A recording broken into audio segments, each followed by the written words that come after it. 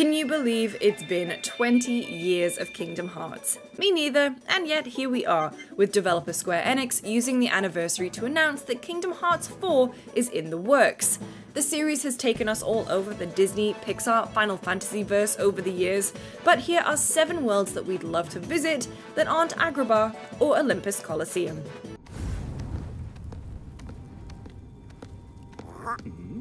Okay, that isn't Agrabah.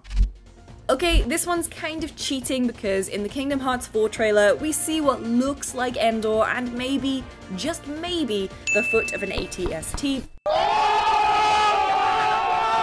But regardless, it's about bloody time that Star Wars and Kingdom Hearts finally joined forces. While we didn't see any Jedi action in Kingdom Hearts 3 due to contract complications, Disney has now owned Lucasfilm for a few years, so hopefully we'll get to see those worlds collide. Imagine running around Endor with Sora, Donald, and Goofy dressed as Jedi, complete with the soft John Williams score in the background, and of course, a Keyblade lightsaber to top it all off.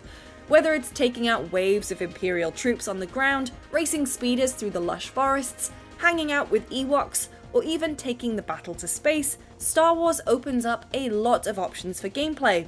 Just if we're going to space, maybe have someone else steer the ship. I'm not sure I could do a whole gummy ship segment while the fate of the galaxy is in my hands.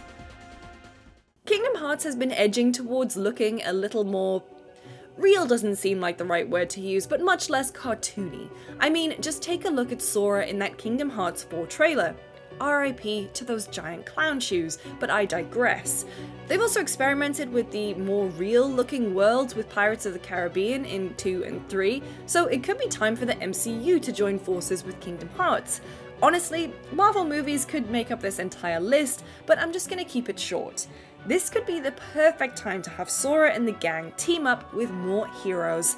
So there are two worlds I'd like to pitch New York and space. For New York, I think it would have to be New York from the 2012 movie The Avengers. It means that you don't have to worry about time travel or trying to find a role for the multitude of superheroes that make up the MCU. It's a relatively straightforward story, a small team, and a big threat to overcome. Plus, the final battle of New York really just writes itself, as does the emotional moment with Iron Man. Plus, I can already see Sora fitting in with that spinning hero shot that they do. It just it just works. And for space, I'm thinking of a pure Guardians of the Galaxy romp. I just think their team dynamic would really work with Sora, Donald, and Goofy. Come on, like Rocket and Donald being curmudgeons together while Goofy and Groot become best friends? Quill lending Sora his jet boot attachment thingies so he can fly in the air while fighting? Make it so. Make it so. Technically cheating because Niceland, aka the world where Wreck-It Ralph is set, has already been in a Kingdom Hearts game, but it was Kingdom Hearts Union Cross, which I don't know about you, I did not play. Ralph has also appeared in Kingdom Hearts 3 as a summon with his excellent 8-bit blast, which was so fun that he deserves another shot at the spotlight in 3D Kingdom Hearts games. So I'm proposing that the arcade from Wreck-It Ralph is a world for Kingdom Hearts 4, meaning you can visit Felix and Ralph in Fix-It Felix Jr., Sergeant Calhoun in the light gun game Hero's Duty, as well as get behind the wheel in Sugar Rush with Vanellope von Schweetz. The arcade would also offer the opportunity for some pretty fun meta commentary on a game within a game within a game? How deep does this rabbit hole go? Springfield, Springfield, it's a hell of a town and crucially one that Disney owns now. I bet you didn't think I would delve into Fox properties for this video, but here I am, pitching Springfield from The Simpsons as a world for Kingdom Hearts 4. Not only is The Simpsons, seasons 2 through 9 at least, one of the most beloved shows of all time, but Springfield is an immediately recognizable setting, full of locations that would be a hell of a lot of fun to smack some Heartless with a big key in. Whether it's Organization 13 messing around with the power plant or nobody's being bothersome at Springfield Elementary, I would love to visit it in Kingdom Hearts. The other part of me absolutely wanted to pitch Futurama, especially as it's coming back on Hulu, and Nomura-san, I just want you to know that I am also open to that.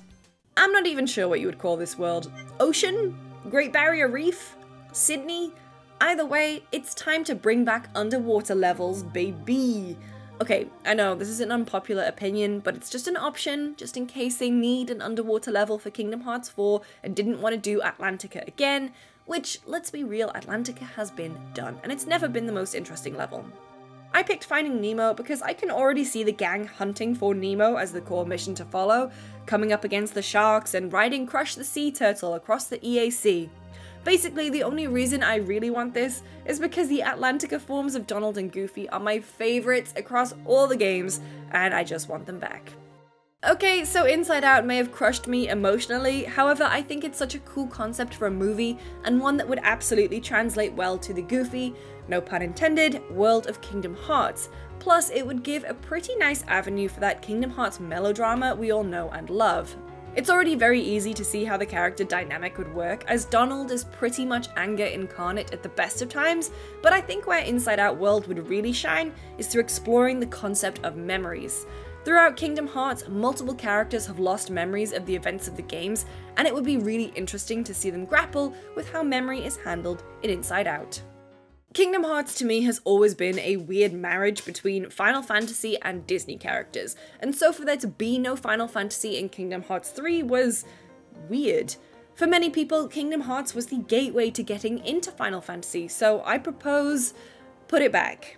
Square Enix has seen a huge success with Final Fantasy XIV and there's the upcoming 16, but why not put the characters and location of Final Fantasy VII Remake into Kingdom Hearts? 7 Remake sure borrowed a lot from Kingdom Hearts in terms of how the game plays, and we've already met most of the characters like Cloud, Yuffie, Aerith, and of course Sephiroth in Kingdom Hearts already. I will say that if Sephiroth is coming back to Kingdom Hearts, he has to be voiced by Lance Bass. No, it can't be. Can you taste the pain? NANI? With all this in mind, and the fact that 7 Remake Part 2 is coming out at some point, taking Sora and the gang to Midgar seems like an absolute no-brainer. And as a bonus, here are some quickfire, slightly more out-of-the-box suggestions. Turning Red. Okay, so 2002 might not be the most interesting world to play around in, but I think this is a good option for a summon, it kinda goes without saying that a giant red panda might have more oomph on the battlefield than a sweet 13 year old gal, but you never know with Mei, so I'd love her as a summon with two phases. Also, think of the sweet, sweet background music courtesy of Four Town. Would I love a Muppet world? Absolutely. Would Muppet Sora be exceedingly cute? Of course. Do I think it would happen? Probably not, but I would settle for some Muppet summons. Miss Piggy screaming, Hiya! as she karate chops Heartless, Animal smacking Heartless across the face with drumsticks, Statler and Waldorf commenting on the absurdity, this writes itself. I don't know about you, but I miss the musical mini-games from Atlantica in Kingdom Hearts 2, and I think they should come back. So why not a Disney Channel world? Hannah Montana, High School Musical, Camp Rock? Come on, this is what dreams are made of. Okay, I need it on record that that was purely a goof and I do not miss those musical numbers at all. Swim This Way? What was that about? But anyway, let me know which worlds you'd like to visit in Kingdom Hearts 4, and crucially, which ones you don't want to see come up again. Let me know in the comments below or come find me on Twitter, I'm at Lucy James Games. For more on Kingdom Hearts, keep it GameSpot.